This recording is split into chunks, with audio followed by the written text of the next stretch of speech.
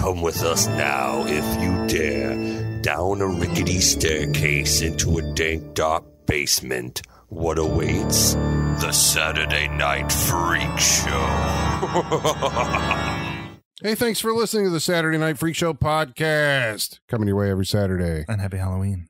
I mean, you know, happy right. happy spooky season, Spooky I should season, say. Yeah, Halloween's like goes for like 90 days, in my opinion, right? You Yeah, know? We're definitely in the uh, vortex, Yes. the Halloween vortex. We're in season's greetings to some of you out there. yes, Mhm. this is why it's we celebrate for a, a month because like Halloween is over and then it's fucking November. I, Yeah. Like it's, it's, the shift is quick. but it's Christmas. It's Halloween and then it's Christmas. Like as in modern society, Yeah. we'd skip. O- Fall is really only 30 days long in American society. It sucks.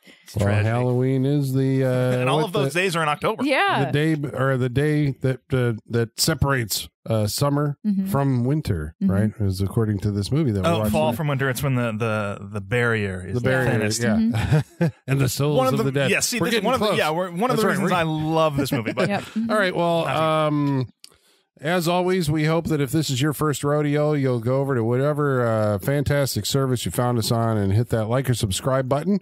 Um, but these are the internet radio superstars. Michaela. Sean, And I'm Colin. Holly is on assignment. And tonight we watched a movie that was chosen by. Sean.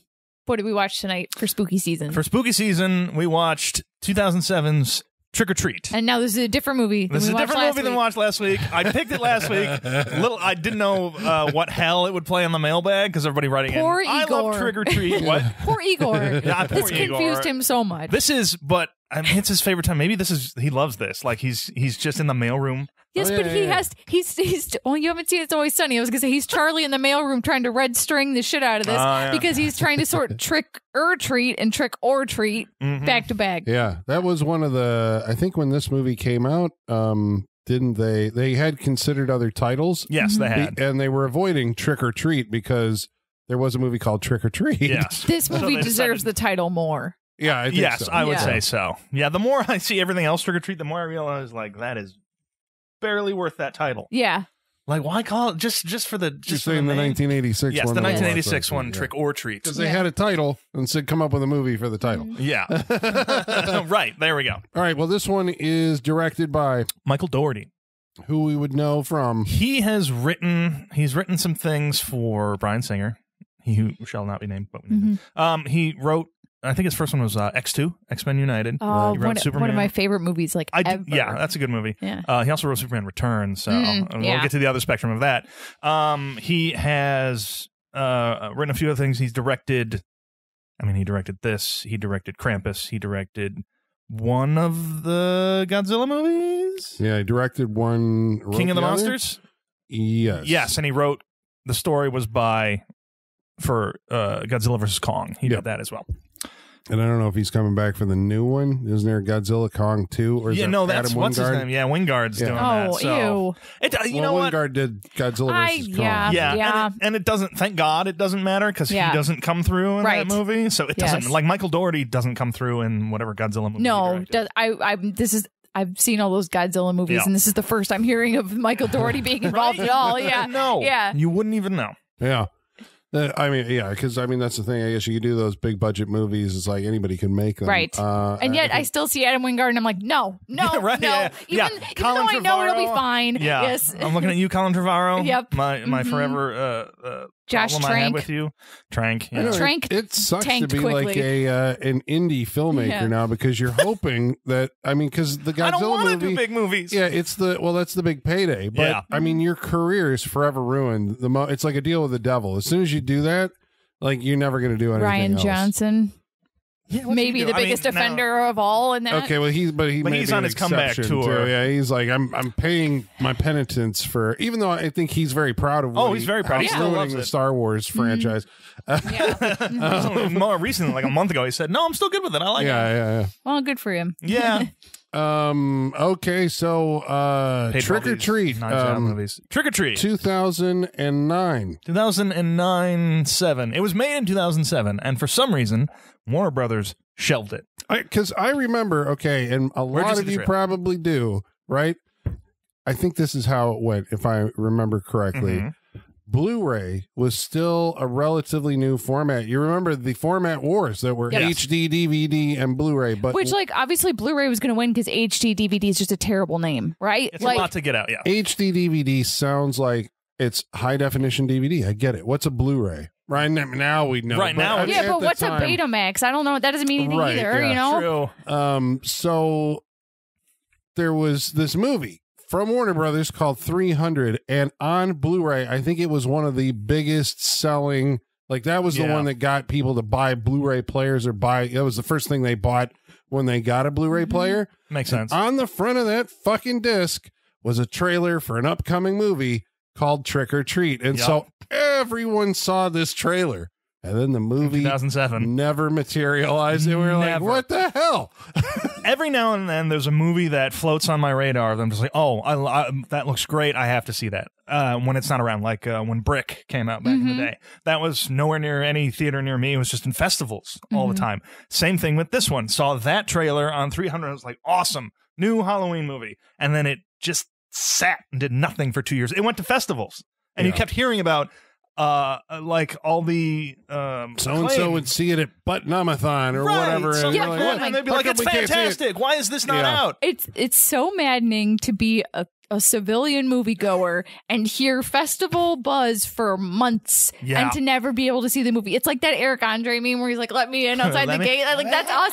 Yeah. Like stop fucking talking about it. Just let us see it. Like I know, it Yeah. depend because I mean now there's film festivals all over the place, but Yeah. at the time it seemed like they were in, you know, the bigger metropolises, right? Mhm. And not all of them are cool enough to have like their, you know, whatever Right. horror movie. Now it seems like they do the horror festivals and uh, Oh yeah, 24 hour marathons and Yep. all this Mhm. other stuff. but back then it felt distant. Yeah, because you remember, I mean, you don't really hear that so much anymore that like movies premiere at you know like a festival so much. Premiered uh, Sick you just know, like- premiered. I just heard about that. Which premiered one? at it was Sick. like Have you not heard of Sick? No. Kevin Williams. yeah, we talked about this off mic. It's the Kevin Williamson COVID slasher. Oh, movie. yeah, okay, okay. everyone says it's pretty darn good, and I'm Mhm. hearing it just premiered at the Toronto International. I was gonna say Festival. Toronto gets a lot. Didn't Halloween 2018 premiere at Toronto? Probably. Like they, they yeah. but that like- kind of stuff where like these Mhm. movies that you were hold you know waiting waiting to see like because i think house of a thousand corpses was another one that i don't think that went to film festivals but that was pirated because it Oh, was yeah? made like two years before it came out and i think there was like pirate copies or something so maybe it didn't go to festivals but Hmm. anyway the uh, so the anticipation was there Yep, uh the movie never came out we got and then eventually Blue they balls dumped movie. it Mhm. to uh, Blu-ray under the Warner Premiere uh, label. Does that still exist? I'm gonna say no, I don't know. Yeah. like Paramount Vintage or whatever that. Yeah, one- yeah, yeah. They just all shutter them and just like Well, this movie's had like a interesting life since then because it seems like everyone that you talk to has seen it. Yep. and everyone seems to know Sam, hmm the main character on the front of the poster. He's an icon of Halloween now. he yeah. is. It's crazy. Mhm. For as long as this was, people were just like, "Nah, we're not going to release that." And then it comes out, and even years later, I see Sam everywhere. Well, it, I feel like it was a cult thing for a while, and now I feel like it's just a mainstream thing. Like it's just a mainstream thing. People love this movie, and like it's more. If you haven't seen it, it's kind of like an oddity, right? It kind of feels that way. Because I, Spirit Halloween has a whole costume section just for gonna it. say, like, I yeah, just took the kid yeah. to Spirit, and they got a whole thing Yeah. of just Sam's and trick or treat Mhm. stuff everywhere. Because So- people are finding it eventually it went to television, you know, cable and all this other stuff, and then it would play. Somebody ran it for 24 hours. I think it was. Chiller. I think it was- Fear. I think it was Chiller. Was it FearNet? I don't know. Wikipedia said it was FearNet. Okay, but I'll go everybody with that. thinks it was Chiller. Yeah, because they, tried to do like the Christmas story thing, Yeah. right? The Yeah. TNT runs that at 24 hours, Mhm. or they did. I think it's down to 12 now, but Oh, it is used it? to be like Oh, I, maybe could be like, we're losing money. We need Yeah. to just cut this back a little bit. Yeah. So they tried it. It's like this is the new Halloween classic, and it did kind of feel like you know it was the most um you know like it was the new Halloween classic after Halloween, right? Yeah, I mean, like Halloween like we had thirty there. years, Right. and now it's trick or treat. You yeah, know, is it, the- it's weird that they kind of not knocked it off, but kind of slid in there. It's just like Halloween means it used to just mean well we watch Halloween. Now Yeah. We watch Trick or Treat. Have you guys seen those like little comics or like illustrations of like Michael Myers taking Sam trick or treating? Like, yeah, Yeah, it- see, I love when they people put 'em have all even like acknowledged like the passing of the torch that way. Yeah, Sure, and Mhm. even like we watched the um the animated short film that Michael Dougherty did called Season's Greetings, which was the inspiration for this movie. The Sam characters in it. Even the character that follows Sam into the alley and everything kind of looks like Michael Myers. Yeah. It's kind of Yeah, that's kind yeah. of the That's feeling what- I what get. They're trying Yeah. to do probably. Yeah, Mhm. and then Um, he literally kills him and then drags him away. I love this little short. It makes me so nostalgic because the illustration style is like very of 1996 when it was is. done. It feels like old Oh. Nickelodeon. I felt like I was watching Snick again. Yes, like colored pencil illustration that's a little jittery and rough Yep. around the edges, but it's so oh, it's well, when's so the last good. time you saw like hand animation? I mean, everything true. now is CG, you know, Mhm. but old Disney style. I mean, it's like a you know, like a, a, a Charlie Brown, Yeah. Great Pumpkin. Yeah. Mhm. you know. That was that was one of his inspirations for So, this as well. well, you're saying this. So, for the folks who don't know, so Season's Greetings was an animated short. It's only like two minutes long or Mhm. something Yeah, like that. short. That Michael Dougherty made on his own. hmm I think he may have done it for a thesis, but I'm not entirely positive. Okay. And uh, based on that, he was, you know, it's one of those things that he did it. And it's about this little trick or treater who ends up turning the tables on uh, this attacker hmm because you think like the kid's in danger, but no, it turns out the attacker actually gets his. And it's a little, uh, it's a kid in pajamas with a Sack, sack over his head. and he's got a big bulbous head. Right. Mhm. And so that and so that was 96 I think that Yes. it said and so since then uh Michael Dougherty I guess would use that on like, you know, he'd send out Halloween cards or something around Halloween and he'd use this little thing that he created Mm. and eventually developed a mythology for Sam. Sam's never named in the movie I think he's in the credits as Sam, as Sam in the in the but not in the movie. Yes. And we're told, of course, if you know this, that it's short for Sam Hain, which is Mhm. apparently pronounced Samhain, Samhain. Yes, Uh, that is the correct pronunciation. but that's why his name is no Sam. one told Donald Pleasence. no that. one told Donald Pleasence. The night of Sam Hain. know. I like Sam because I think it's because of that. Because Donald Pleasence said it. I'm like, Yeah. I like Sam Hain better. Yeah, Yeah. Sam But Hain sounds better. Yeah. But Samhain, okay. Yeah. yeah. No, Sam Hain. Um. Okay, so what we have is an anthology movie, and they haven't been doing those forever. right? And what makes? I mean, do they ever do that? Um. Um. What was I going to say? Do they ever do anthologies that are not sort of horror or science fiction? I don't know. Now that you say on your that, give me some like yeah, give me some like teen drama sh- Yeah, anthology. well, I'd watch the shit out of that. Well, to me, I guess the progression of it, right, was like you had, you know, well, I mean, obviously you've got like, you know, 50s horror anthologies and stuff like Mhm. that, TV horror anthologies. And then there's Creepshow. Okay. Yeah. In horror, Right. it's like, you know, you have to, and this movie, I think, owes a debt to a large debt to Creepshow. There's comic book, uh, you know, covers and Mhm. transitions and stuff like that, even Yep. though you're like, why? Mhm. Yeah. It seems like it's because there's Creepshow. That's how we're going to get into this. Because you forget about it for a while, and then it shows up back at the end, and you're just Mhm. like, "Oh yeah, that was part of this movie." but I think uh, Pulp Fiction, uh because that's an anthology movie that doesn't feel like an anthology Right. movie because Right. the characters interact with each other and it's told out of sequence and like you'll be watching a story where characters from another episode will interact with the characters in this new episode Mhm. and then there was a movie called go and that's maybe the one that you Mhm. know is not a Is that an anthology? that's an anthology Yeah. it's three different stories that. but they all interlink and Yep. it's told out of order but it is three separate stories Eleven sixteen. There's a movie called Eleven Sixteen. 40, 44 minutes to midnight is an anthology based on uh, a single event that happens, and I I think it's violence that makes Hmm. an anthology easier to do because for any other genre, I think you maybe you have to play out the emotions more, Mhm. and you can come to a quick ending in horror real quick, yeah. yeah which can keep them short. I think that's got something to Well, do with is it. Love Actually an anthology? I haven't Christmas seen it. anthology? Oh, okay. You know, it, I Looking think at it probably Michaela. is. Yeah, I would say it is. And I Right. would say probably like those Valentine's Day, Yep. New Year's Eve movies are probably Yep. anthologies. Okay. Yeah. and so then Okay. that leaves the great Halloween anthology that we're all missing, which is All Hallows Eve, which is that like a Yeah. teenager one that it's like PG. Okay, Mhm. so we got an anthology, We do. but it's going to be separate stories. Was there five? Is there four? How many are there in this? And they intertwine with each other, and we see they happen I think out of four. sequence. Four, I think. I think there's four. Okay, We got. Well, we can go through it when we talk about the stars of this movie. Mhm. Uh, Dylan Baker is in this movie, who you would know from many things. I was mean, like, most things, Spider Man yeah. comes to mind because Yeah, he played was Doctor Connors. the Yeah. lizard. In well, I didn't think he turned into the lizard. He never got to be the Not lizard. in No, the Sam Raimi ones. no, he Uh, but got Dylan it. Baker has been admitted to the Saturday Night Freak Show Congratulations, sir. Wall of Fame. Uh, we Ooh. are notified by the keeper of the Saturday Night Freak Show Wall of Fame, MF Mad, that Thank Dylan you. Baker was in Woody Allen's Celebrity, which Oh, yes, boy. we covered on this Jesus. show way back in the A day. different time. and he was also in The Cell Oh, okay. and Forgot Trick or about Treat. that. So there you Yeah. go. We inducted one other uh, cast member of Trick Brian or Treat. Cox. No, what? I don't think so. Okay. But uh, see Ernest Harth to the hallway of Okay. home Oh, because he was the uncredited doorman in Valentine. You might have recognized him. Gotcha. Or he was the great child ghost in 13 Ghosts. And he was also Ah. the giant baby Uh, in Trick There it Treat. is. the baby, huh? there it is. The Yeah. baby.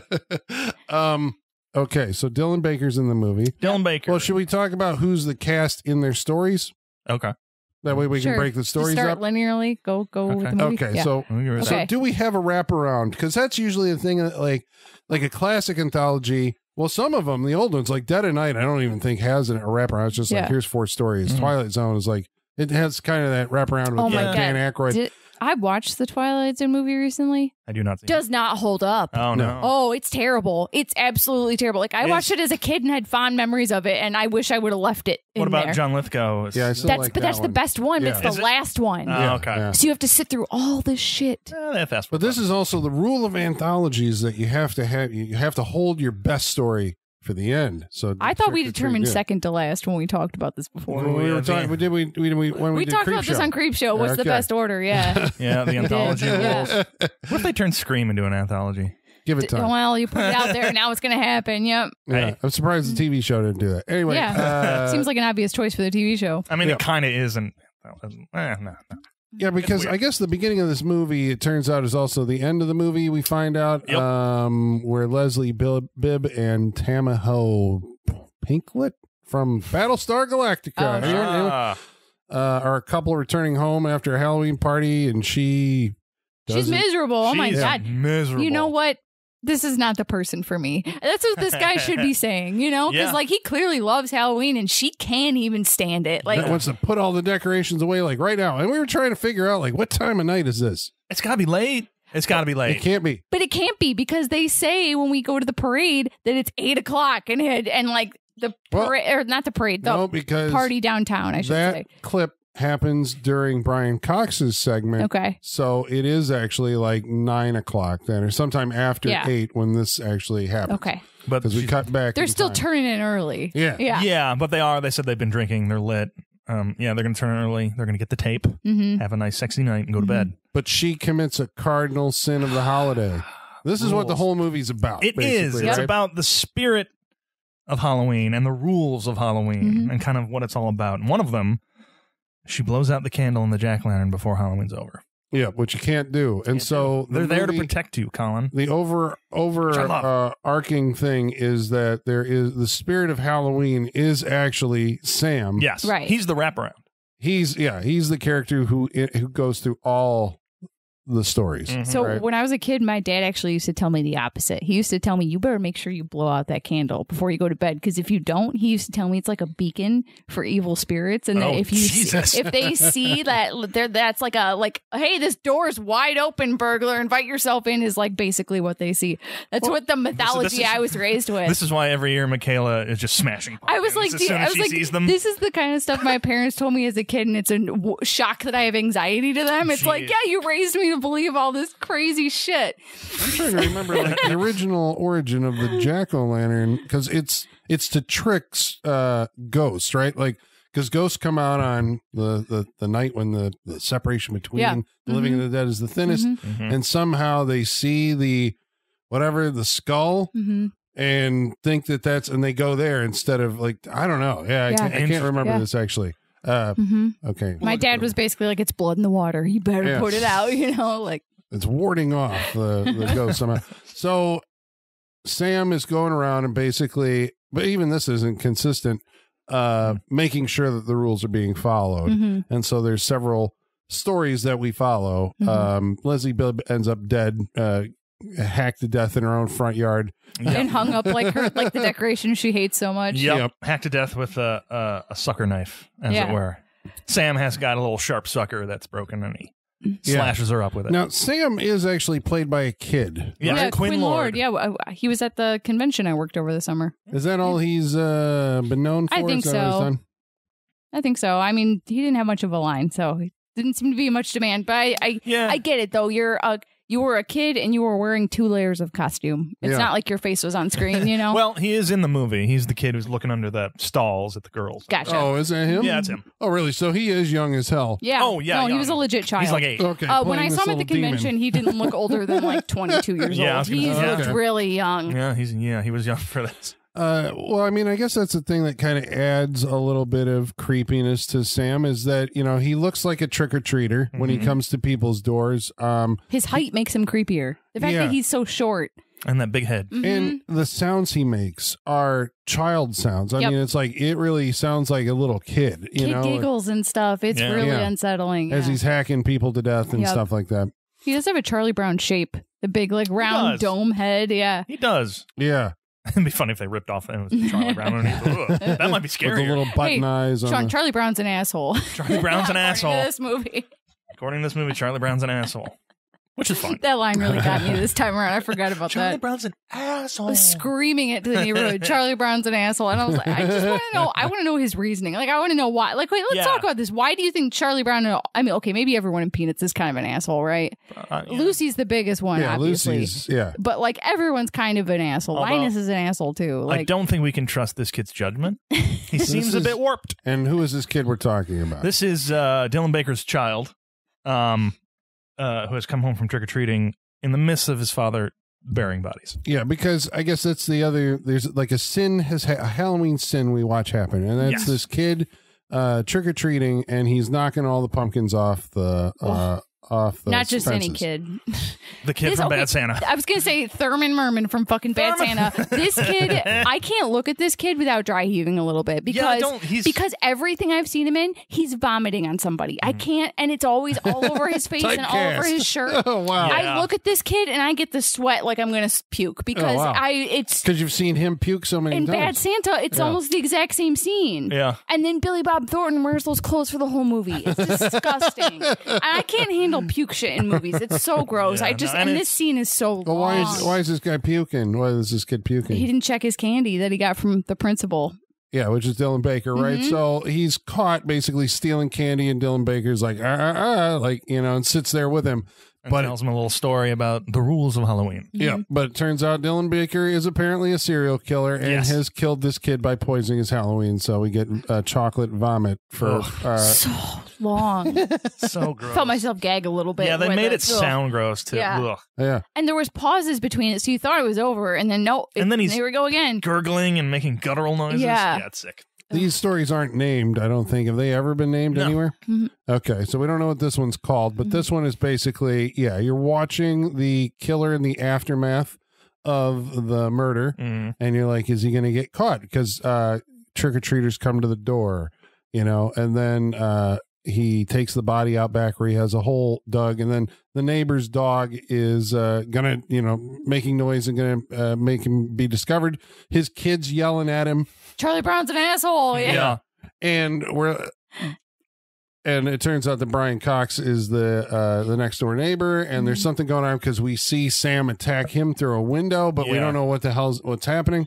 Those are nice little scenes like that. And there is the the the bleed over between stories and everything. Right. because it makes the movie, I guess, um, uh, it rewards on a second watch Yeah. because, like, you see, you notice like, that. oh, there's a lot of Rhonda- Leo DiCaprio pointing in this movie. Yeah. There's a lot of that. going on. Especially like the dialogue between Anna Paquin and all the other women. Yes, A lot which of is what I was watching Love this it. whole time. Yeah. I'm just like, this is good yeah. because they're all talking about. Well, this is The innuendo is great. right? Yeah. They're, All right, they're- well, don't, let's not oh, Okay, jump okay, ahead. We okay, gotta, we gotta Yeah, we somehow. gotta talk- yeah. Otherwise, we're gonna be all- but in that opening scene, I think where you're going down the street, Mhm. um, you do see uh, Rhonda's. Uh, you know, she's pulling the little wagon. Mhm. Yep. The girls, you know, are going to the, kids, party. The come kids by. from the bus are you can slowly see them. Yeah, they're all by. there. I think in that establishing scene, these are all the characters that you're going to interact with for the rest of the movie. You just don't realize it until you've seen it a second time. Yes. Um, so Dylan Baker takes the body out back and is burying it, but he's got other bodies back there.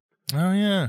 And mm-hmm. I guess the the suspense is like, is he going to kill his own son? Yeah. Yes.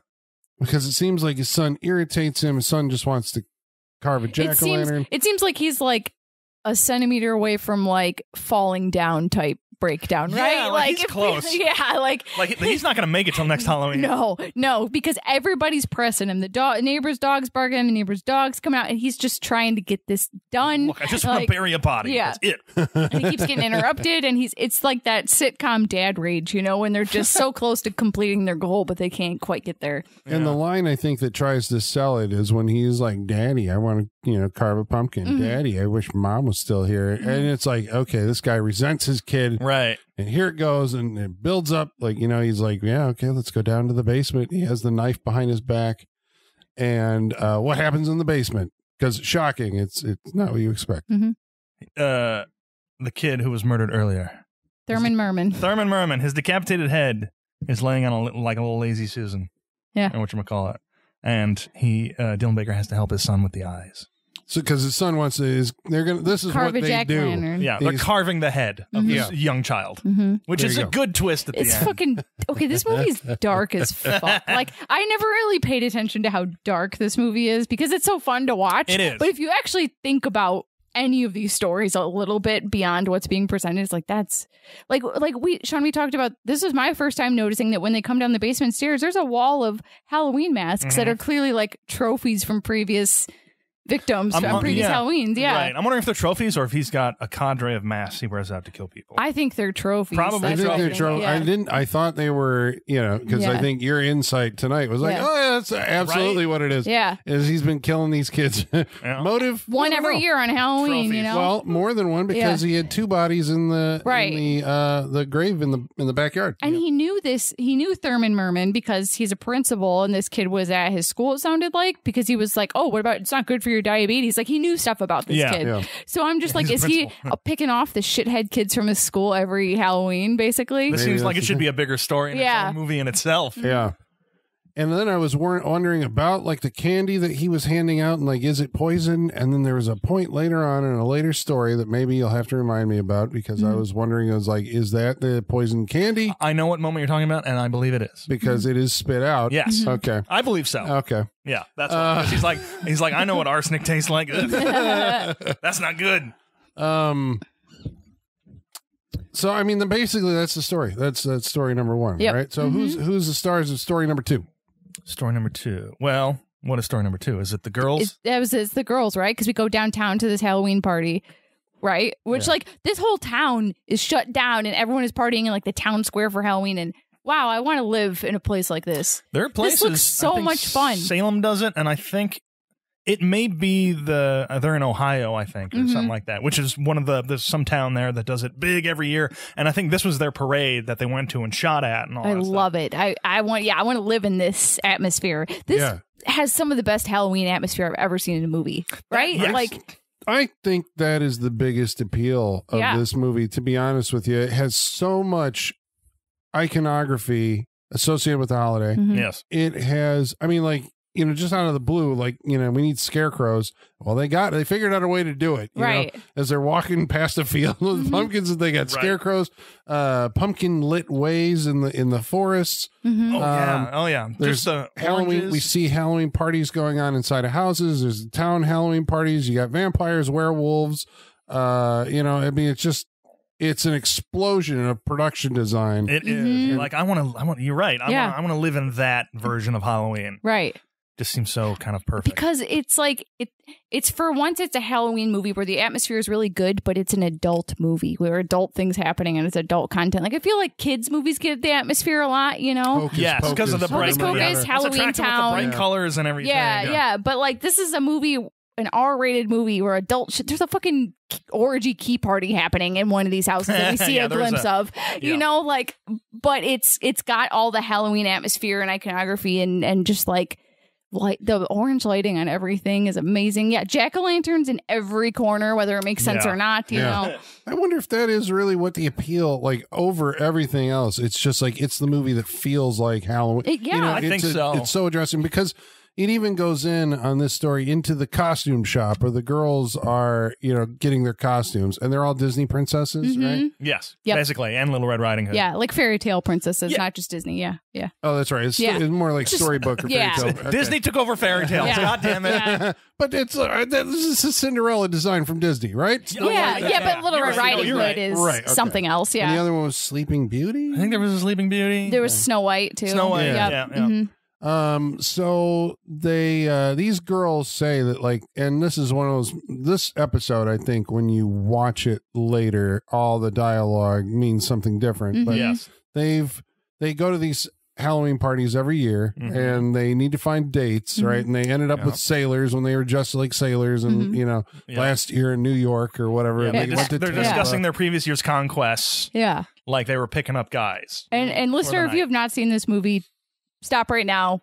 Go watch the movie. Oh yeah, Come back because we're gonna spoil the shit out of like this, especially. And I feel like this is really good if you don't know what's happening. right. This Okay. specific yeah, story. yeah. This. So- yeah. Go watch it if you haven't. yeah. If you have any Yeah. inclination to watch this movie, Yeah. go now before we talk about it. All right, well there you go. That's your warning. Mhm. They're werewolves okay, the whole here we go. time. Yeah. Yeah. So, um, I guess the the so they're trying to find dates, but the the dynamic is that uh Anna Paquin is in Mhm. this movie. She's in the movie because uh Bryan Singer. yeah, X Mhm. two X Men, right? Yeah. Yeah. Michael Dougherty. Mhm. So because this was before True Blood, right? Yeah, True Blood Yeah. was like oh, 2007 or 8 maybe. So this is like True Blood's like right after this. I think yeah, but this was released Yep. after True Oh, Blood had already been, and she had all of a sudden become like a thing again. Um, Mhm. so or at least that seemed like that was a bigger booster. I know being a part of the ensemble of the X Men, but like Yeah. she was the star. I think. Oh right, and True True Blood. Blood, was like crazy. popular. Mhm. Yeah, I should give that a rewatch. I haven't. I watched it the one time when it I've aired. seen and that was it. I've seen a couple episodes. Mhm.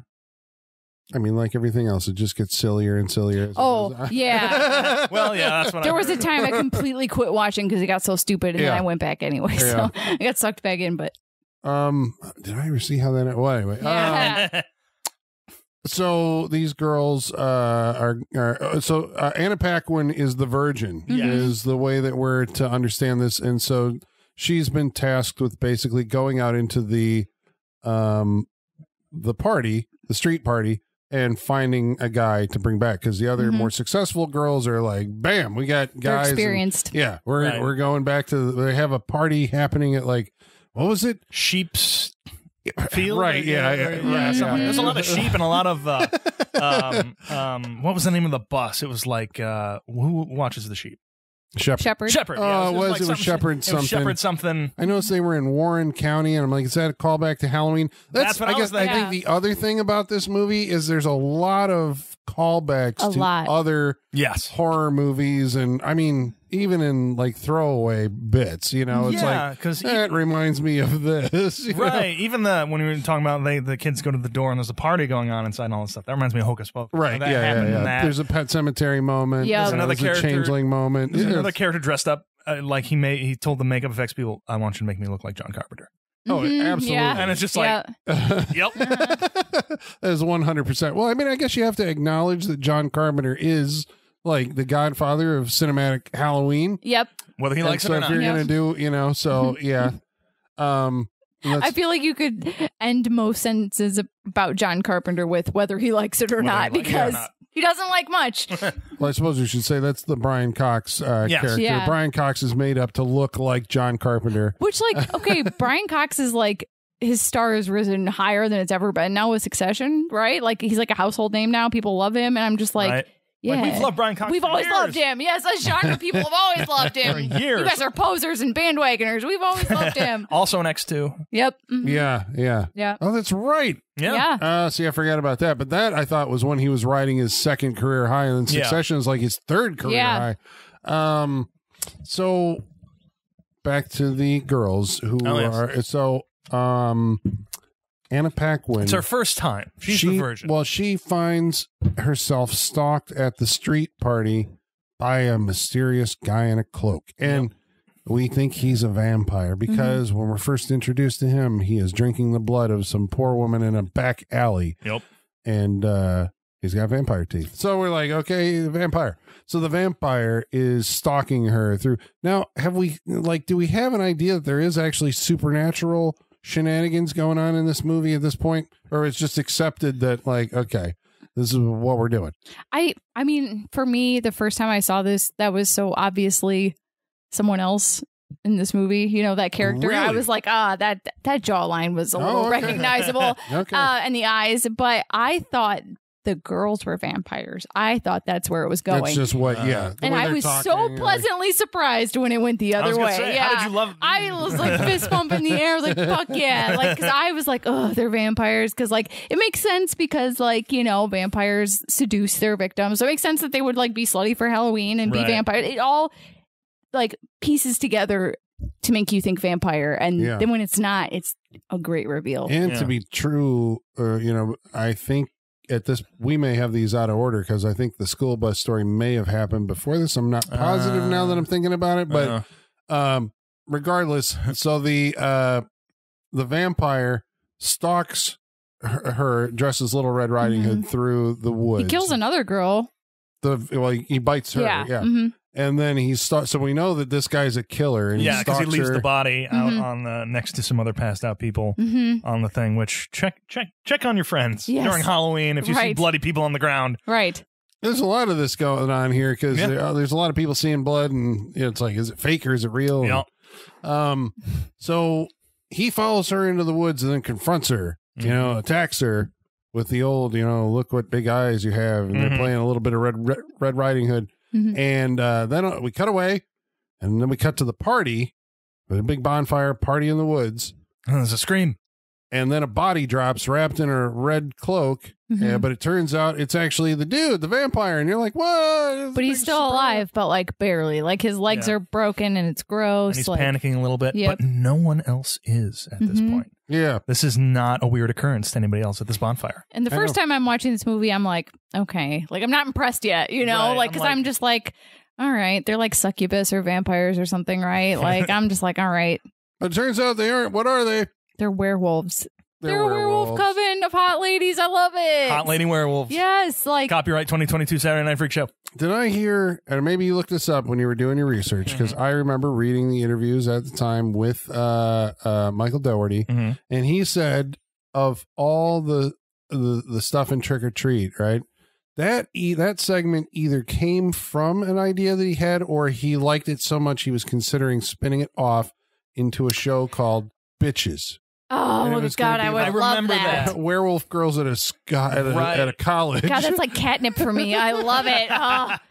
Oh. uh, I, I, was remember actually that thinking conversation. like I would love to see a movie of them, and it's just Jennifer's body, but werewolf Mm. girls. Like that's what I would want. that But could still happen. yeah, Who knows? I think there's enough there to make a whole movie out of. Like you show them in Miami or San Diego or whatever they're saying. Show one of the previous years or a different city. I send send them to Amsterdam. You Yeah, know, yeah, yeah. do something really cool. Okay, so but we know the concept and that they Yeah. are werewolves. So what do they come up against? What is the thing? Are they the good? Like we're rooting for them at some point because we're rooting for them in this. I mean, because what do you do? We're inducting another girl into the coven, and she finds out that she's part of the. I mean, that's the obvious way to go. I don't Sure. know if it's Yeah. I just they would have to do some surprising. No, stuff here's what you do. You, you take the American Pie franchise right? wow. Okay. and just apply that filter. So American Pie, American Reunion, American Wedding. Like take all the college milestones and it's just werewolf trips. Mean Girls. Yeah, with me- werewolves. Yeah.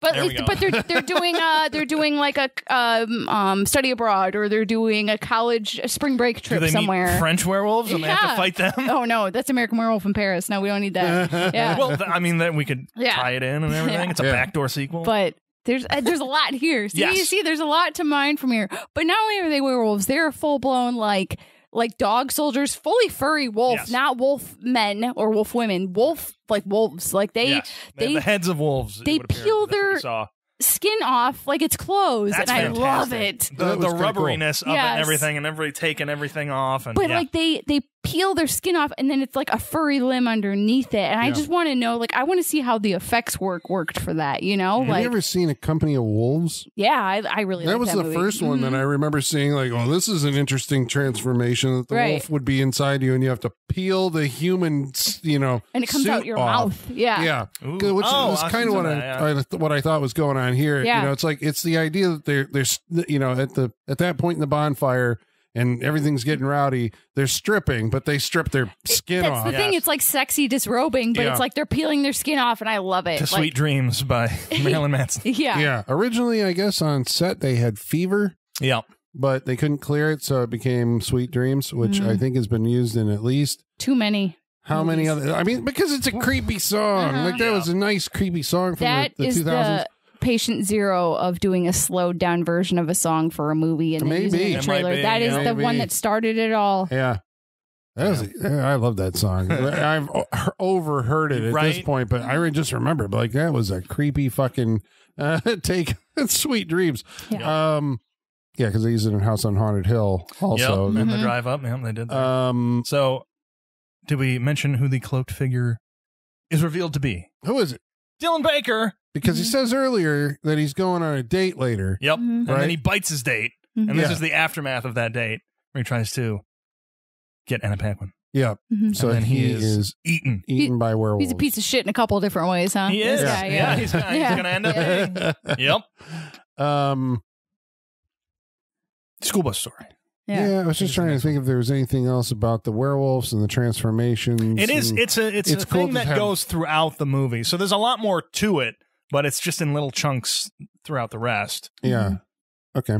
Then uh, the But school I, I like massacre. that werewolves are, are being viewed as like sexy in this movie because I feel True. like it's always vampires always get to be the sexy ones and werewolves are always considered gross and dirty and dog like and it's like I so when that reveal first happened I first saw it I was like I felt so vindicated you know I was like yes thank God it's not vampires for once you know Sexy werewolves. and they seem to be like in control of it right like it seems like right. they choose It's like, when yeah, to like they're yeah Bruce Banners, and they're just like, I'm gonna Hulk Yeah. a little bit, and then Look- we'll go back to it. and like I wonder. no, the funny thing, the end credits would be um just stark quiet, them cleaning it up and trying to put their skin back on, oh but God. you just hear they're having trouble. I know because I A was peek in wondering and then a Yeah. peek out. where you know did people find that skin discarded so. the next day? I'll bet. Uh, I They was throw it also all in that thinking fire. that when when Dylan Baker shows up and actually looks around and realizes that all the other men uh, that have been brought here are dead already, then I was like, well, did the did they already wolf out and kill these people? Then they had to put their human skins back on, and they're taking them back off again, or did they kill them and then they're going to eat them? I I guess think that's so. I what's think happening. yeah Dead I and think then that's Is what's they're happening they're going to eat the dead? Hmm The freshly dead. hmm Then there's the school bus massacre. So we start following these other kids around the neighborhood through various stories, and up Yep. to they're the ones who discover the uh, key party going on, where the coach Yeah. is dressed as a uh, what does he say? a hot, dog, butt Fuck- fucking a pig. yeah mhm. is what he says. As that the hot kids dog. catch this glimpse behind the. Uh, Because it's just happening drunk- right in the middle of the house. Yeah. Yeah, Yeah. yeah, but uh, if you notice later, the hot dog gets rolled into the pit. Yeah, Yep. guys. yeah, I yeah. did. Um, so they're out and and uh, they go to Dylan Baker's house also because I think the kid with the eye patch, the pirate, is the only one who really realizes that there's like a trail of blood leading Yeah. to the Mhm. and the blood on his clothes from the the vomit is Yeah. actually uh he may uh, be up to something. But Which okay, could, which is funny because you could also interpret that as like that kid's just weird because that's his principal and like you, you're kind of fearful of your principal right because they're an authority figure in your life Yeah. so it's kind of like it could go either way in that situation Yeah. well they Yeah. end up uh going to They've been collecting jack o' lanterns. right because their their whole thing. Well, we don't I guess know right away that they're trying to play a prank Right. on Rhonda. hmm Rhonda is a developmentally disabled uh, girl that's out there uh, that they bring with her with them on their. She's the target of their prank. She's Yes. dressed as a witch, so of course it's going to have something to do with it. Yeah. And they take her out to a stone quarry and then tell her a story about. So we get flashbacks, Mhm. right? hmm Very orange About a school bus full of disturbed children whose This shit is dark as I know fuck. Yeah. parents paid off the bus driver. to not have to see them again. Yeah. So what's the bus driver going to well, drive them not, into the to- not that's not what was said. To relieve them of their burden is how it was phrased, which is such a brutal way of phrasing that. Yes. Like, oh, my, like it really hit me this time. I don't know if it's just because I'm getting older or what, but I'm just watching it this time. I was like, this story, if you think about it for two seconds, is the darkest shit you've ever seen in a movie. Yeah, they like, paid the bus driver to essentially, like you were going to say, I think, yeah, drive it off or somehow Yeah. like jam the pedal down and. yeah, but dr- to drown them, Yeah, right? Like ba- yes. a horrible I- They were death. chained into their seats as well. Right. And I was like, are they chained into their seats every day? They'd bust out to this special school in the middle of nowhere, think or was so. this I just think today? so. I think so. I Um, think you're chained up every time. The bus driver stops and like gives them all candy, and while that's happening, one of them in a Dracula mask, all the kids are masked. He ends up, you know, not knowing how to pilot the bus, Yeah, starts he wants it, to go home. and he drives it off the cliff. So I was like, was would that have happened? Would the driver have done it? i wasn't entirely sure. Then I'm like, sure he was going to put like a brick on the pedal and send down its That's way. what it and he felt would like. Why yeah, else are you there? And Yeah. what was the whole point of this story? But Right, he's 'cause they paid absolved him. of he's absolved of responsibility, kind of, because he didn't actually drive it into the. Mm, Not completely I mean, absolved. It's like yeah, it's he like still he drove didn't them deal there the death the, blow. right, Yeah, with but the purpose of murdering them. yeah, yeah, the intent was still there, and Yes. he, he got them ninety percent of the way. They just took it over the finish line. Yeah, Okay. but like. th- This scene, like what makes it so heartbreaking is the Dracula kid becomes aware of what's happening. Yes. Yeah. And that's what makes it so brutal is that you think that these kids kind of aren't aware of what's happening around them. And he starts panicking, being like, wrong way. Uh, I want to go home. And like the fact that he can't verbalize what he's feeling beyond that is Yeah. just, it's hard to watch, man. It's brutal. This movie's dark as fuck. Uh, and the actors who played those kids were actually uh, developmentally challenged. That makes kids. it worse. Well, oh my they- they- God. It was, but they. Well, but, But why? maybe They're all in masks. yeah. because uh, I don't know specifically why they were used, but they had the greatest time. I bet. Well, okay, well then it was just an opportunity. Yeah, you know, it's like, well, we may as well give these kids an Right, if it's opportunity fun that they for may them, not yeah, have to dress up. otherwise had. Yeah. Speaking of dressing up, the costumes of the kids from back in the day, terrifying. Baghead with big it. teeth. Yeah. No thanks. Yeah. That's that. Those these are the costumes we need to bring back for horror movies. oh yeah. yes, yeah, yeah, Like I love that everything's not like a licensed character. It's Yeah. just like a generic. This is let's put some strings of hair and weird teeth on this, and it's scary. You know, Yeah. like I love It's that. a bag that you like had laying around the house, like Mhm. flower. Even the Dracula sack. mask is scary. The way it's like Yeah. painted and stuff. Yeah. Yeah. Yeah. Um. So the the modern kids, uh, there's like an elevator. They have to ride down to the bottom of the quarry. Right, because they're going to leave an offering for those that died, the jack o' Right. lanterns. But, But- there's only, but it can only carry three at a time yeah. safely. And Yeah. so by the time that Rhonda gets down there, we hear screams in the distance, and The uh, pumpkin thing was fun. That Where- was so cool. The pump, the each of the kid, three kids that went down are holding a lit pumpkin, and there you hear dialogue in the distance, like I don't, what's going on? What is that? And they start freaking out a little bit. and it's all foggy, so And you it's all just see foggy, the so- pumpkins. you're right. All you can see is the pumpkins, and one by one they extinguish as the children scream and everything. And it's good. It's, It's fun. really good. So we're like, oh no, something's happening. And then these dead kids come grabbing for Rhonda and Yep. chasing her back to the uh, elevator. Mhm. And she has a panic attack.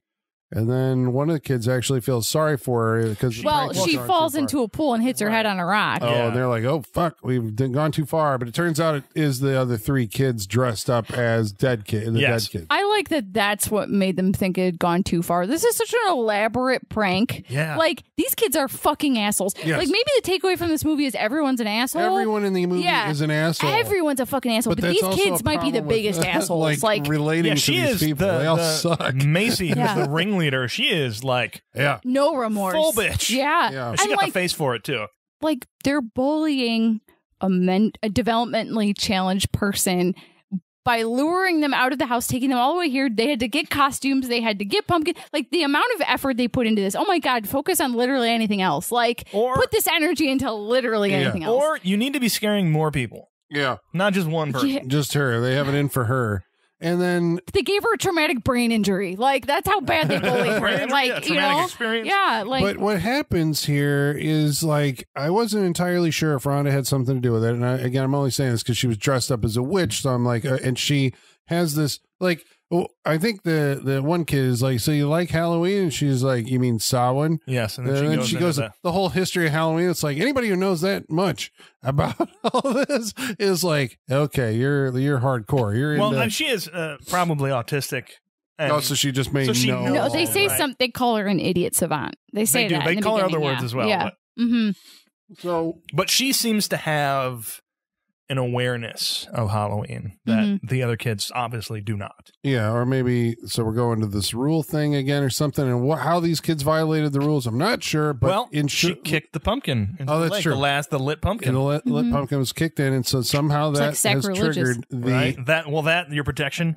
gone. Yep. and so the ghost kids do show up and Rhonda is given the opportunity to save them because she gets in the elevator Surrounded by pumpkins, protected. And uh, she chooses to let them all die because they fucking played a prank on her so she's going up to the the surface and they all get eaten by the cannibal ghost kids Yep. or we hear the screams we assume We do. and when she gets to the top sam is there and they just kind of acknowledge each, each other, other Yeah. hmm and then go their separate ways like Mhm. he's like okay I like yeah, that. You're good. And the final story involves Brian Cox, hmm John Carpenter himself. Yep. As Mr. Kreeg. And so he's so this one I thought was like, okay, is this going to be like this is the Ebenezer Scrooge story, right? hmm The guy who hates uh Halloween. hmm And I think he enjoys tormenting the trick-or-treaters who come to his house Yes. by dressing up his little dog Spite And It is spite, uh with glowing eyes and all that shit, scaring the crap out of these kids. Which is what you should It's do. cute. I love it. If Yeah. you have the dog that'll let you do that, yeah. Yeah. So did Sam even come to his door? Yes. Sam came. Uh, Sam came to I don't Dylan know. Baker's door. Yeah. yeah. And I don't remember if he came here, but all of a sudden it seems like uh um after you know sitting back because I think he takes the candy that the kids have left, right? Yes. And he's eating it, and that's when he gets He the scares them arsenic and then one yeah, and then and takes their spits it candy. out. Um, and then there's a knock on the door. I think the dog starts barking, and Mhm. then all of a sudden weird shit starts happening. The, Mhm. the front yard is full of pumpkins because he hates uh Halloween. There's jack o' lanterns all over the place. Um, Yeah. It then- reminds him of that time he was an accessory to murder of children. But we don't know that yet because he's burning photographs in the fireplace. Yeah, I love how he waited how many years? How many years has it been since this happened? Yeah. And he's like, "Well, been holding on to these photos for so these photos that would probably be what evidence that I did this. Probably. Like, yeah. let me let me burn them now after I'm a withered, bitter old man. Like, and just found them. Yeah, well, he does have like asthma or something. He does. that, He uh, wheezes. he wheezes a lot. Um, but the this segment is basically uh like it's not even really a cat and mouse. It's a battle inside a house between the old guy with a shotgun and the little demon trick or treater Sam. Mhm. Yes. Who this is the one where Sam actually has the most screen time. hmm uh, because he's leaving. I think you know Brian Cox has to creep upstairs because he hears a sound, and then the pumpkin, the jack o' lanterns light, and there's bloody writing all over the walls and ceilings. Sam's crawling on on walls everywhere. Yeah, Mhm. and he gets a shotgun because he's an NRA member. He's told uh, Dylan He did. Uh, Baker, We and see so- the other half of that conversation with Dylan Baker in this sequence as well. Yep, But we're back. In and then he blasts. Uh, uh, he blasts the little bat. Well, the little he guy gets him, him, first. He unmasks him first. and the little guy gets him in the in the Achilles tendon. Oh too. yeah, Yeah, Pet yeah. cemetery style. Yep. With the, Oh, okay, with but a razor blade chocolate bar. The Going with that Halloween up. iconography. The close up of him pulling the skin apart, where you could see like the wound. I don't like when you can see skin open like that, like like a mouth. I hate. Oh, I hate that. E- Evil Dead 2013 had a thing like Yeah. that too. That I was like, oh, yeah, I just can't. You can feel it. Yep, uh, mhm. Yeah. That's how horror actually when Mhm. it Because you're seeing the insides. You're Yeah. not supposed to see those. yes, and how easily it comes apart is so ugh. ugh. Yeah. And just that sound. That Well, Sam also leaves like a bunch of candy all over the stairs. He home alones the shit out of this He house. does. Yeah. yeah, basically does. Because he stole the candy. I think that's his Mhm. biggest sin right Aside from, it's his biggest sin aside from murdering eight Mhm. children. yeah, but we don't. We still don't know. We still that don't know at, that, at no. this point. That He is just- a surprise. Well, I feel us. like you know that when you see him burning the pictures because they do a close up on a Well, picture of we do- him but with all not, the kids. Not until the you don't see that until the end. No, that's when it's revealed that oh my god, he Mm, was there's a shot of the photos in the box where you can see what they are. But when it, yeah, his uh, um, a character trait of this is he wheezes, but at the end of the story where the children die, the bus driver does get out of the water. You see his ring, and you hear him wheezing, hmm and Yeah. you get that is um, put at the forefront when we come back to his story at the end.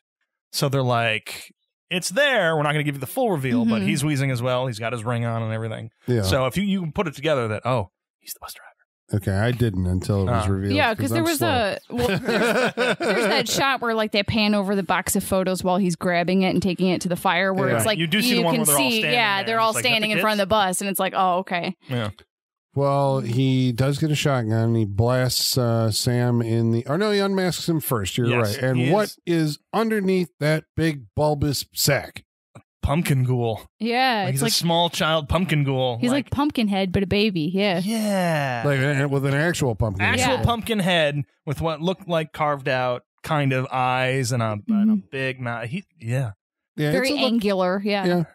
Um, it's a look. But We now we should know say why he's that- so bulbous. I know that w- w- we skipped over, but the music in this is by some guy named Douglas Pike Piles Pipes? Pipes, Was it pipes? but it sounds it's suspiciously like a Danny Elfman score. Yeah, it does. It La- sounds la- la- la- you know, Yep, and there's Mhm. there's kids. Uh, ah, yeah, yeah, yeah, maybe that's what it is. Uh, so that's a lot through this uh, uh, segment. Um, there's a ode to Evil Dead because uh, he, he does blast the pumpkin head and pumpkin guts come out of it, and it's like okay, he's dead. And then he shoots him a couple more times, enough to sever his hand. Yep. Mhm. And then the hand comes alive and starts running around the house, attacking him. Yep. we got a nice uh, thing reference. Oh yeah, you got to be fucking kidding or Mhm. whatever. Except he says me. you got to be fucking kidding me. Yeah, which is pretty funny. I love the um the simple tricks, the simple camera tricks they do with the hand. Mhm. Aside from parts where you know it's like CGI because it's actually crawling across the floor. Other parts they just keep the hand at the edge of the screen. Yeah. And This this Yeah. simple Classic. lo-fi way of just Yeah. doing like severed hands over here and it's Yep. walking away and everything. Yeah. I love the pumpkin guts are his flesh. Like it's the stringy, gooey, like when you carve out a pumpkin, that fresh stuff that you scoop Ugh. out. It's and like it can that's his reattach. innards. Yeah, the yeah. hand reattaches itself mm-hmm. with those, you know, like yeah. pumpkin strings. There's on- some seeds in there too. Yeah. yeah. Uh, so yeah, he's a legitimate, uh, some kind of some Halloween demon, I Mhm. suppose, right? Mhm.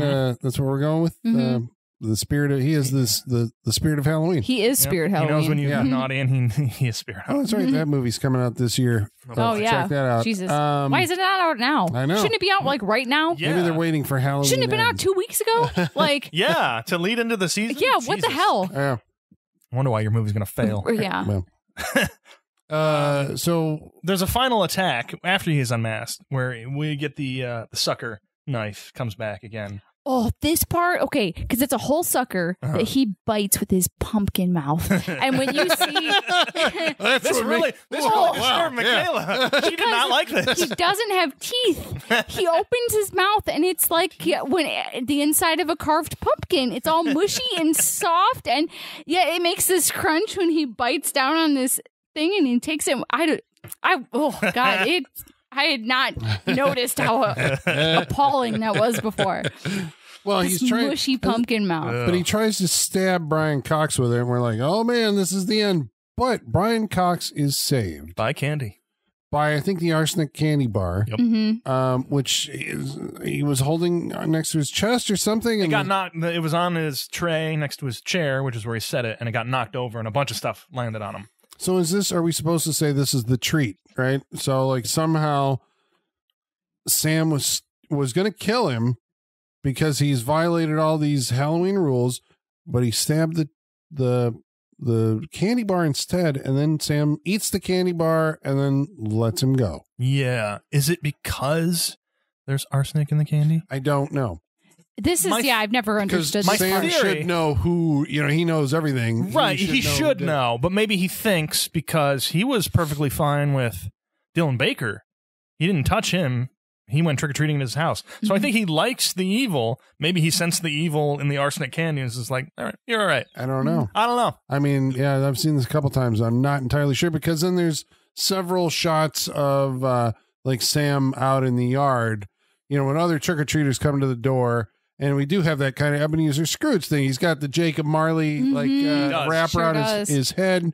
And like one of the kids said, "A great mummy costume, Mister Kreeg," Yeah. Oh, yeah. He's bandaged himself up after the attack. Yeah. And he's it seemingly had a change of heart. because he's giving candy to the kids, the trick or treaters who come, and Sam's out there watching approvingly, and there's kind of a, a look of understanding between them. Mm-hmm. And you're like, okay. And then Sam notices across the street, though, uh, the couple from the beginning are arriving home. So this is where the movie actually began. And so she blows out that pumpkin, and he's going to go over Right. and And. Sam he looks- saw it because he was right across the Yep. street. Right. And Sam looks at his sucker and he's like, I didn't get to use this. Yeah. Yep. I'm going over there. He's got a sucker knife. Uh, so, but then, then there is like a little coda, and that is there is another knock on Mister Kreeg's door, and who's there?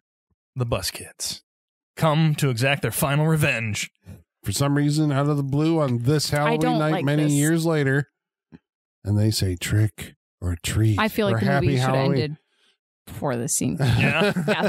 This Well, is this doesn't add anything. I don't feel like. the movie constantly does this thing where it seems like you know it's like okay well this character is absolved in some way yeah. right by some act that they did or whatever and then it kills them anyway you know it's like it Mm. just keeps on you know doing that and, so you're you're jerked around a lot you know Yes. it just continually jerks you around your allegiances of like Yes. okay who's my protagonist in this in this scene Right. Everyone's an asshole. Who do I like? everyone's an Do I like asshole Sam? and that's why Sam still exists and he's so ubiquitous. Yeah, he's now, the because least everyone asshole. is just like, yeah. yeah, I like Sam. He- Yeah. He, killed all the assholes and uh, Mhm. he did not kill. But all he the didn't though, because he didn't kill Brian Cox. Like that's the thing. Like But if he, he- was going to kill all the assholes, he would have killed him. Like But maybe I mean maybe Sam sensed it. unless he It knew was these kids were coming back Yeah. I think he knew they he was like, coming. "Oh, this is theirs. They've claimed this guy. This is our kill." Yeah. Like, and he yeah. was at the reservoir, so he could have told Yeah. the kids, "This is where the guy is. You got to get your revenge." True. A lot of Mhm. revenge. A lot of revenge. Mhm. Yeah. Yeah. Um. Okay. Well, I guess uh, There it we're gonna- is. What I'm curious to hear is what you guys think about the movie Trick 'r Treat.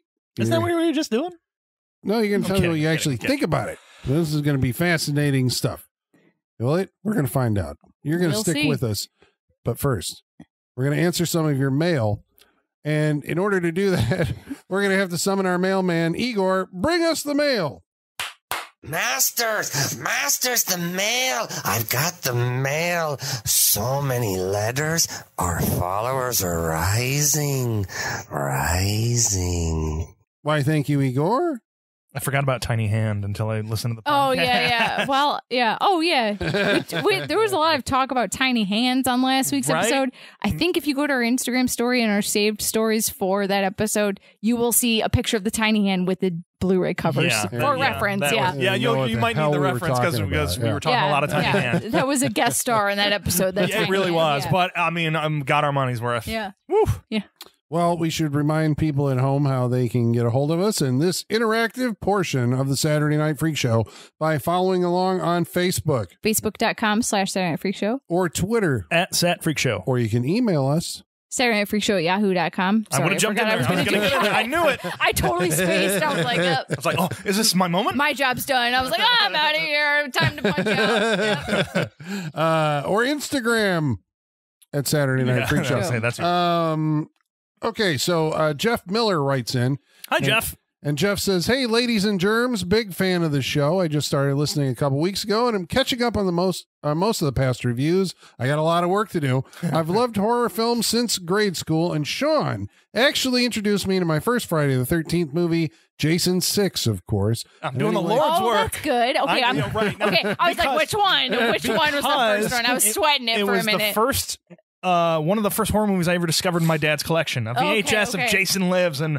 we were fascinated by it before we ever saw it I, I because of that cover that might on have it. been part five at first. I was like, oh no. god, oh, no, I started out with like good with the good Yeah, ones. yeah, good I, one. think- God. I, no, I think it was, six was the first one I think I saw. Listen to Yeah, our yeah. episode on part six. That's right. Uh-huh. We do discuss that in there. Um, but Jeff says, uh, anyway, I'm not sure what the rules are when fans can, or if fans can suggest movies to review, but I thought I'd throw a few out.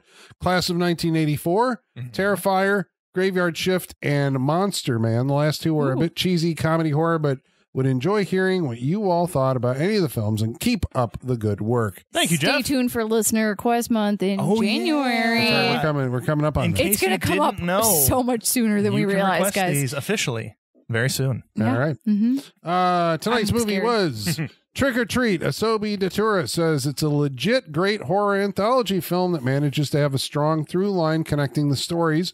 My favorite segment is the Halloween School Bus Massacre, the one with the kids in the quarry. A film that deserves to be well known outside of horror circles. I look forward to hearing which segment is the favorite of each host. Hmm. Oh, thanks, Asobi. Thanks for writing in. Thank you. I think we know what Michaela's is. Uh, Adam Kaler says, excellent choice. It's a solid horror movie that takes full advantage of the fun of Halloween. All the small details in the background and connecting story works and shows that the creators poured a lot of love into the movie. Uh, how does a newspaper read in that town on November 1st? Time to move to a new city? That's a good question. Do, yeah, do they just accept that there's mass death on like Halloween in their town? They're like, it's the cost of having the party, man. You know, Yeah. it's kind of like you know when you hear about like big crazy like uh like motorcycle rallies or whatever that happen, and it's like yeah, there's like 30 deaths, but that happens every year when we do it. Yeah, it's like is it like that? You Yeah, know, like maybe. the, the running of the bulls. It's, It's like yeah, big 10 people die. party. They have an expectancy. Like, Yeah. eh, 30 people died last year, so we're going about that. Yeah, that. as long as we Uh, stay under that, we're good. You know, right. For averages. yeah, yes. yeah, Uh, We can't throw off the curve. right. Travis Legler says, Now, here is a modern day Halloween time classic. I remember seeing this for the first time and feeling like, yeah, I'll be watching this again. I remember enjoying Anna Paquin in this movie, and it's a good pick for the freak show. Thanks. Yeah, I was shocked when you picked it that it hadn't been done already. I assumed it had. Yeah, I think Too obvious? it, it kind of felt like it would like be like bringing Halloween, Yeah. Yeah. kind of. But I figure like it's it's your fault, Colin. I know. You do one trick or treat. It really is the main reason I brought it, and I was just like, we haven't brought it, have we? Hmm. There you go. And it is that time of year. Michael Whitaker says, Does anyone remember how this movie for a couple years was run for 24 hours on Halloween on the long defunct Chiller channel? I do. I do, do yes. remember that. Chiller was like a product of NBC, right, or Mhm. Universal, so. and it uh, Mhm. Shudder eventually became. Yeah, there were all those like we were going to do. it. Yeah. There was the horror channel, Yep. which had like the backing of I think like a lot of the Wes Craven, and they got John Carpenter. Everybody to sign off on it. Yeah. All that stuff's on never Tubi really- now. Tubi is has channels all day long for horror. Monsters HD. Anybody remember Monsters No, HD? I and then they they they ended up like there's Blu-rays, like those Amicus Blu-rays, Beast Must Die and stuff like that, are Yeah. have Monsters HD logos on them. But it was like I think a satellite channel or something when HD was still like a Right when it was such a big thing, they added HD Yeah. to everything. Just so you know, because I don't think everybody HD. had all the TV channels hadn't switched over yet. Right. But if you were an early adopter, you got these channels. And Mhm. Monsters HD was one of them. Jesus, remember those days? and they had all the HD masters of all the uh, horror movies. Um, last week we watched a movie called Trick or Treat. we did. Uh, Hollywood Clergy says of that one.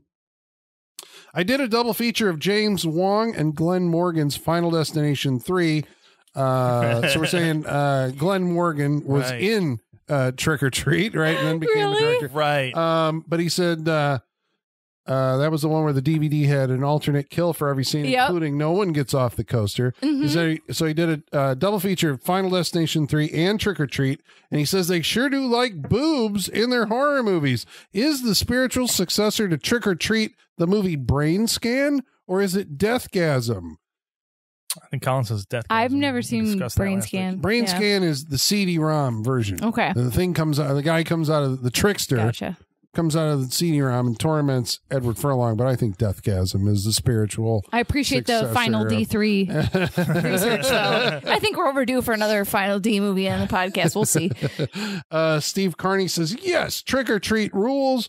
The movie was filmed in Wilmington, North Carolina, like I Know What You Did Last Summer. So it has a special meaning to me because I'm from that state. And like Colin said on the Berserker episode, hopefully an official Blu ray release is right around the corner. It's upsetting that it hasn't been released yet. Vinegar Syndrome, step your game up. No one Yeah. more upset than Colin. Yeah, I know. Well, you listen to our episode and you get the whole tortured history of the rights of uh, Trick or Treat.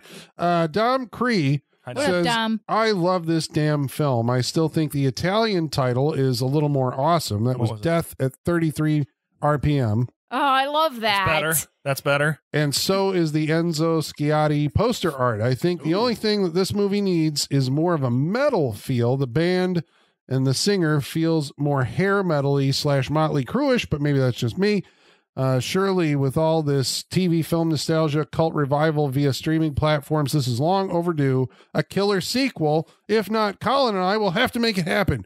And true confession, uh, Dom and I have been talking for years on Twitter, trying to dream up Write the script. Write it. You guys write it trick or together.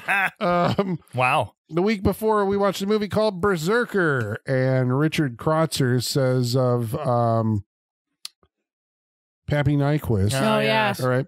uh, George Buck. George Buck Flower. Thank you. very- His roles in Wishmaster and Pumpkinhead were also a lot of fun. We didn't Yeah. mention those because I think we were kind of making fun of the fact that both he and John Goff were in a bunch of John Carpenter Mhm. uh, and, and the Witch Who Came In From the Sea. Right. Yeah. Uh, Michael Whitaker says, as a parent of kids who were into making slime, oh, because Ah. Yes, the slime The talk. slime talk. Yes, there was a lot of Nickelodeon slime talk. I Sean sent. got slimed, certified I got, and I sent the. we yeah. we I've seen the certificate. It's legit, guys. Like he sent it to verify it. Nickelodeon so- himself signed it. That's all I Yeah. can say. Nick O'Lodian, Yep, right? yeah. Yeah, yeah. well, Michael Whitaker says, I Brother can- to Jack O'Lantern. yes. He says, I can confirm that the ingredients for most of them contain some amount of white glue and borax. If anyone remembers Nickelodeon's product called Gak, Yep. that was pretty much what that was all made out of. Oh, I had Yep, a lot we of had that Gak, yeah. conversation, too. Mhm. and then he I had says, Gak and Floam. I was the rich. Yeah. one, Oh wow, wow. You had Gak and Floam, what? too. Floam. oh, Yeah. okay. I always wanted to. Didn't Floam look like something you could take a bite out of? Right. It did. It was, Like, but it was all like bubbly. It, kind was of. the It forbidden snack. You looked know, like like, it's, This is Michaela. This is Michaela as I'm gonna say twenty. it's it's my version of Tide Pods, right? Because like we all ate some Yeah. shit we weren't supposed to. No, I Is never- the point of all I this. never did, but I just knew because it looked like Dippin' Dots almost, right? like it Kinda, had yeah. that texture. Or I was like, like, um, I want to know what it feels like. the Nestle Crunch. Yes, thing. Oh, yeah. Like that, yeah. The Buncha Crunch, yeah. And it would snap and pop when Yeah. you messed it. It was fun. Yeah. Well, Michael also says, uh, does no one else remember that green slime was a product of the show? You can't do that on television? Yes. I remember it clearly. yeah. Okay. If you said, I don't know, you got slimed. Mhm. Sometimes they try and do it on purpose and they'd only get water. hmm And they always tried to make sure whoever was getting slimed, you could usually spot it because they were usually wearing a white shirt or white pants. Right, and the there other was people were white, not yeah. As close to them Yep. as. hmm Oh. the staging was that's very so- obvious, yeah. Wow. Oh. Yeah. Well, thank you all, good people, for Yes. writing in and uh, keeping us entertained. We hope we're entertaining you. We're going to do that right now by telling you what we thought of tonight's movie, Trick 'r Treat, starting with, Colin, oh boy. what did you think about tonight's movie, Trick 'r Treat? I want to give one more thing. Michael Dougherty, since we mentioned it before, wrote Urban Legends Bloody Mary. Oh, Because we had a conversation wow. about that, I think, with John Goff or somebody yeah, someone last week. Berserker episode. Yeah, yeah, yeah. Yeah. I just want to put that out there. Yep. So there you go. Got, Wow. Everyone's got to start somewhere. Mhm. Yeah. And Bryan Singer did produce this movie. That's also He did. like, uh, so he got the money together so Michael Dougherty could do it. Mm-hmm. And then Krampus, you know, then he had to go after uh, Christmas. That was the other reason I waited to bring this because I think Krampus. I think we We've all done Krampus. we did on Krampus this- on yeah, the you show, can which is another Michael Dougherty film.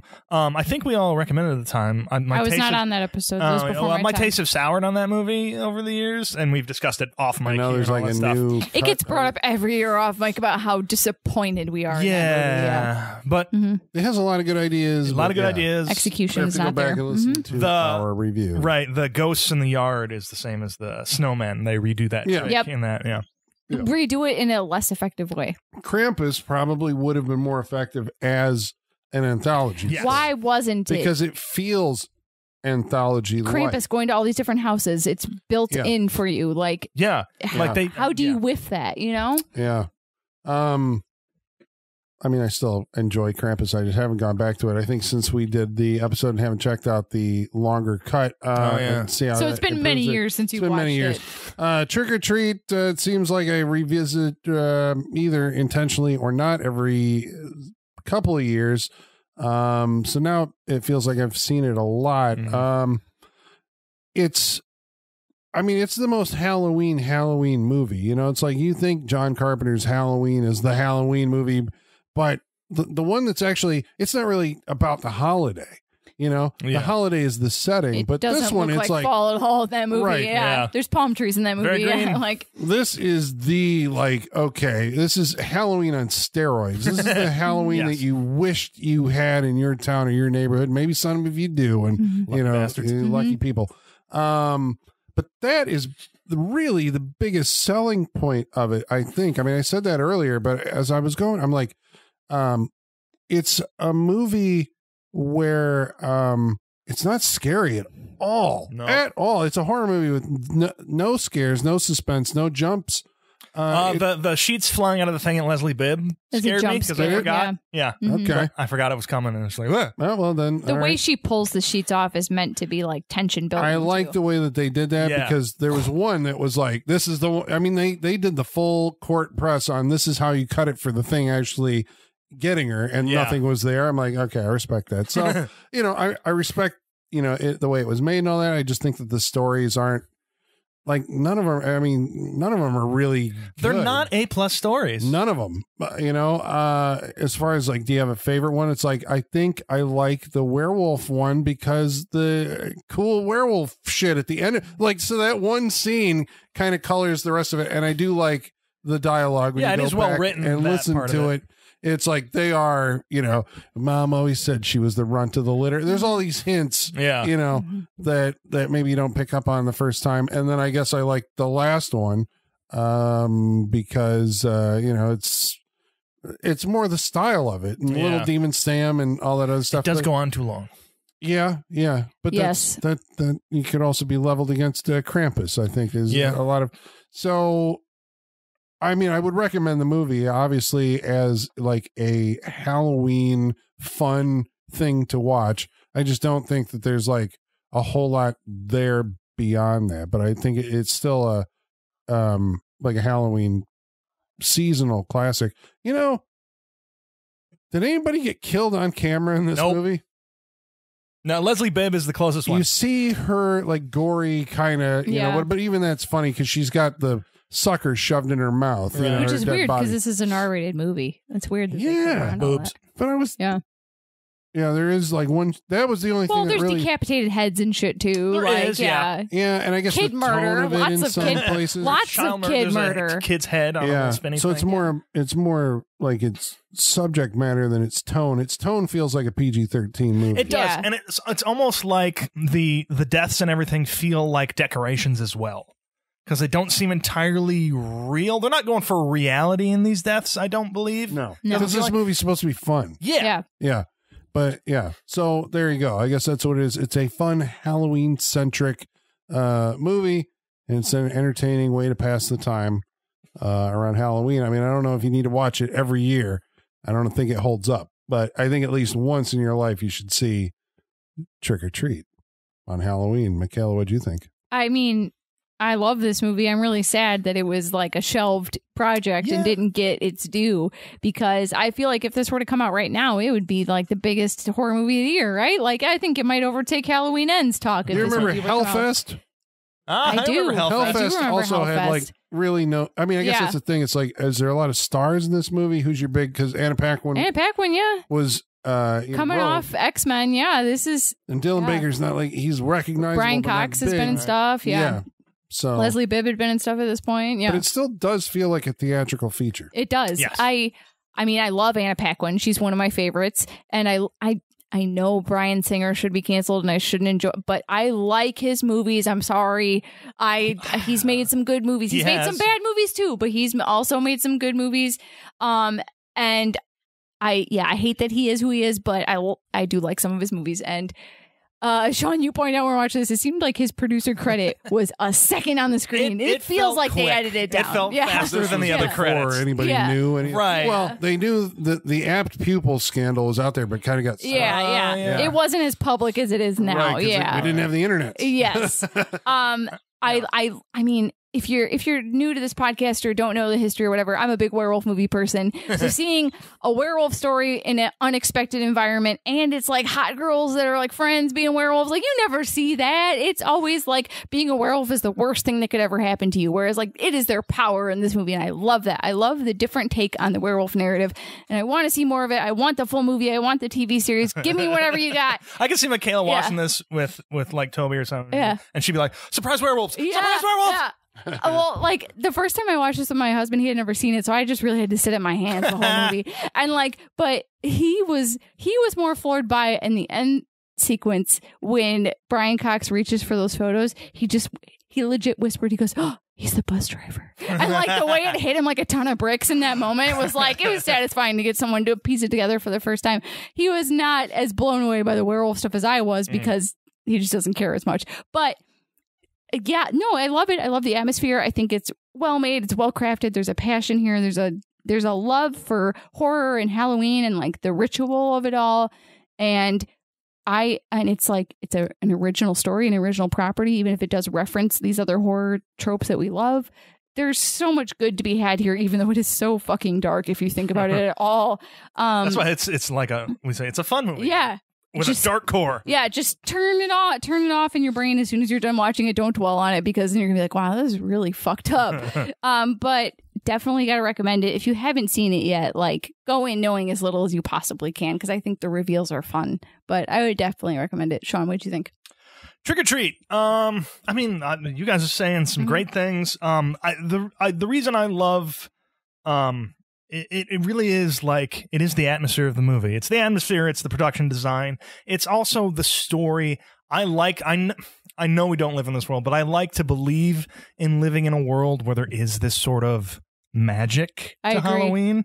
I, I I want to believe in that stuff. Mhm. I love the idea that yeah, if you do blow out the candle on the thing, bad things are going to happen Mhm. because the barrier is thin at that time. It just phrases like that and everything. It just it it gets me going. I I love that, and I wish. I wish some of this stuff was real, you know? Yeah. It'd just be interesting. Um it's it is a beautiful movie to look at, and I think Colin, you're right. Um, as as far as what we've talked about the stories, but it is like you want to feel Halloween.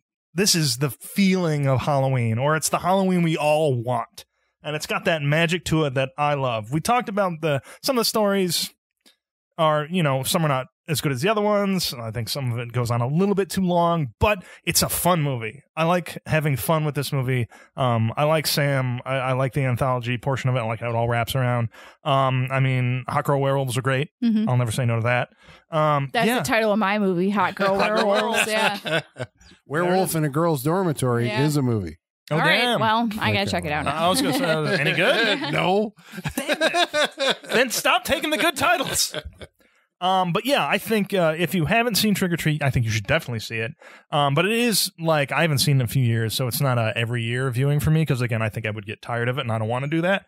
Um, so but I like I like what it gives me, uh, the magic, the Halloween magic it gives me when I put it in every couple of years. So uh, I definitely think you should watch it. Trick 'r Treat, recommended. All right, that's a freak show approved. Means you have to watch Trick 'r Treat. Yep, Um. All right, so next week we're watching a movie that's chosen by. Holly. But Holly's not here, so we're gonna go over to Michaela. Michaela, what has Holly chosen to watch next week? Uh, she has told me to say that we are watching The Hole from 2001. All right, The Hole. This is a movie I've never seen this, but allegedly oh, I've never seen this. uh, allegedly has Thora Birch and uh, Joey Quinn from Dexter and uh, Keira Knightley and some other people. Keira Knightley? Looks like a very British movie. A lot of a lot of British names based you know, right. based on this The IMDb. Hole, not Hole or The anything Hole. like that. Because 2001. right, The not the Joe Dante 2009 No, Hole. definitely not that No. one. Okay. No. I agree. It's definitely not that one. It's definitely not This is very teen teen movie. Joe Dante the whole. Directed This by Nick other. Ham. Okay. All right. So there you go. You have your assignments. Until next week, we'll reconvene.